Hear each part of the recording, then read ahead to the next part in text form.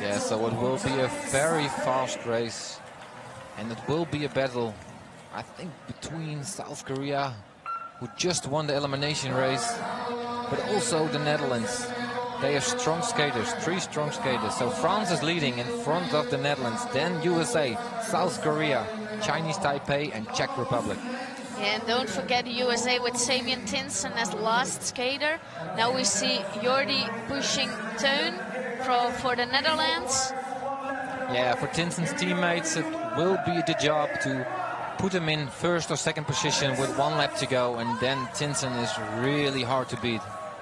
Yeah, if they're still in the pack, they make a good chance. We'll see Marijn, Sche Marijn Schepenkamp will finish for the Netherlands. Yeah, we see Tinson now in second position behind the French guy and the guy from South Korea, Marijn Schepenkamp, who took the bronze is there for the Netherlands. Yeah, he's in a winning mood. But is he recovered already from for, from the big effort in the, in the elimination race 5K? Yeah, we see the Dutch guy Jordi van Workum with a nice passing and he pushes Teun de Wit. He crashed in the elimination race just a few hours ago. He's now in the lead. And we see Chinese Taipei in the back of the pack, but it's all close and we have still 10 laps to go. Yeah, still 10 laps to go, but only 10 laps to go also, because it's only 10 laps. It will be faster and faster. Every skater will do five times one lap. Yeah, the guys you see now, they will finish the relay. So these guys are the fastest ones.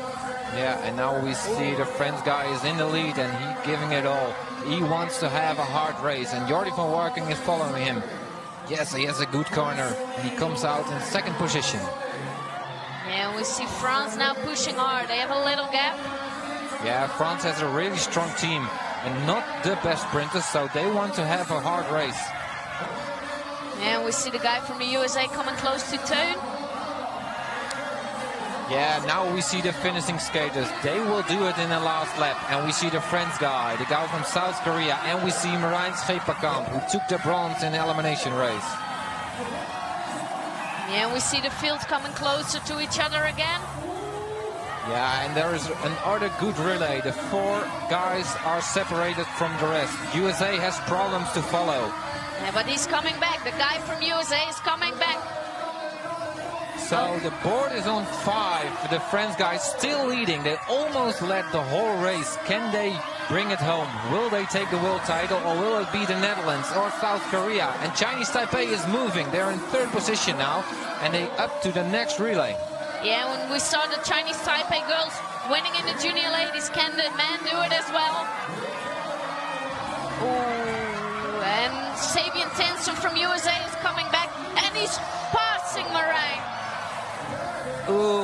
Ooh, Schepenkamp almost crashed, and Tinson did a great job. He brought back his team, and the Netherlands now in fifth position. Only two laps on the board. When they cross the finish line, they have to do two laps. South Korea is in the lead, in front of Chinese Taipei, France, and USA. Yeah, we see the South Korean guys taking a little gap now. It's all lost time now for the skaters. We see South Korea with a big gap now. We see the battle for silver is almost more interesting than the battle for gold. Yeah, and South Korea is in the lead. They have a clear lead. I think South Korea will take the win. And it is the Netherlands in third position, but they lost a little bit of speed. France in second, the Netherlands in third. And there is the American guy in fifth position. Watch him. Maybe he can make some nice passes. It's South Korea who takes the win. And then on the second position, it is France and Oh, I don't know. Maybe it's the Netherlands. Maybe it's the USA or Chinese Taipei. We have to wait the photo finish. But the South Korean guys, after the last push, you saw the second guy already cheering. Yeah, and after the gold on the elimination race, South Korea has another win.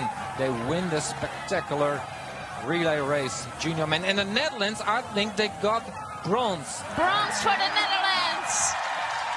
Zo, dames en heren, wederom een medaille voor de Nederlanders. Wederom een bronzen medaille. Marijn Schepenkamp haalt binnen 1 uur twee WK-medailles. Wat een prestatie voor de Nederlandse ploeg.